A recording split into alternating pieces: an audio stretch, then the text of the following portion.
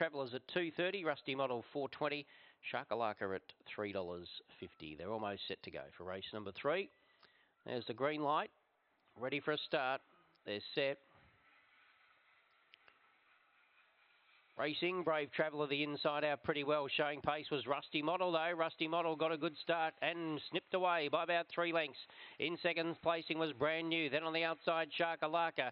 Then Brave Traveller and Rock Me Elijah a bit deep. Around the corner Rusty Model is about three lengths clear and Rusty Model all the way. Shakalaka second, Brave Traveller third and then for the back uh, was Rock Me uh, Lloyd. Then for the back Rock Me Elijah from a keenest spot and well out of it was Beth Ablaze, and the runners around 1793.